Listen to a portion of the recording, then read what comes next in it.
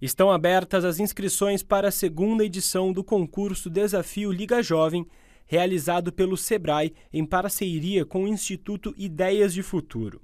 O desafio é considerado o maior concurso de empreendedorismo e tecnologia entre equipes de estudantes do Brasil. Podem participar alunos do ensino fundamental e do ensino superior. A competição tem como proposta a criação de soluções inovadoras e transformadoras por meio da tecnologia. O objetivo é desenvolver o jovem, né?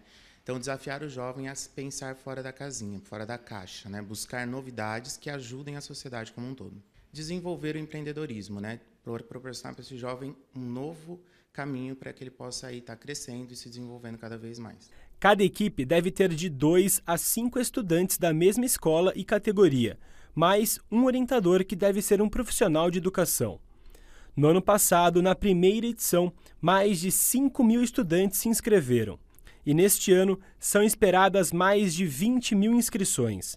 O concurso é 100% gratuito e as inscrições devem ser feitas pelo site www.desafioligajovem.com.br e o prazo vai até o dia 7 de junho. Ele consiste em cinco etapas, né?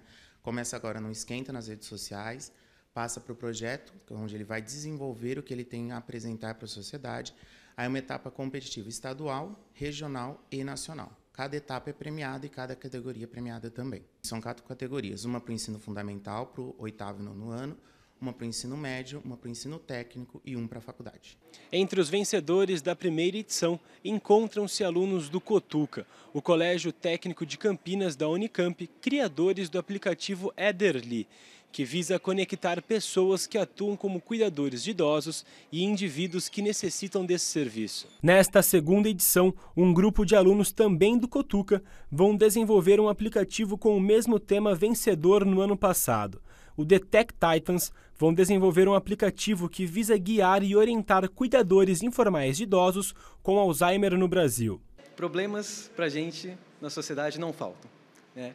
Então é muito legal quando eles incentivam a gente a olhar a nossa volta e ver o que a gente consegue consertar ou pelo menos amenizar com tecnologias que estão ao nosso alcance. A gente está esperando bastante coisa, estamos bem empolgados com a criação do projeto, execução, já fizemos toda a pesquisa, é, estamos envolvendo protótipos, fizemos os vídeos, é, e agora é ir para frente sempre evoluindo, vendo como é que vai. Outro grupo do colégio que também vai participar esse ano do desafio é a equipe Artemis Innovate Education, que vai criar um site para auxiliar os professores da rede estadual a individualizar o ensino aos alunos. A gente está desenvolvendo um site que ele vai individualmente analisar todas as notas, o boletim do aluno e também vai criar uma lista de exercícios para cada aluno para que eles possam cada vez mais é, focar nos seus pontos fracos e melhorar. E a gente visa, assim, conseguir trazer é, mais importância para esse assunto nas escolas, por conta que a educação hoje em dia ela é muito generalizada, generalizada. Então, é muito difícil para cada aluno é, entender realmente o que eles têm dificuldade. Para o Guilherme, professor de Departamento de Processamento de Dados do Cotuca, o desafio é fundamental para a formação dos estudantes. Projetos como esse fazem com que nossos alunos, por exemplo, peguem todo é, o conteúdo visto em sala de aula, através de exemplos, até projetos menores, e aplique isso em problemas reais da sociedade.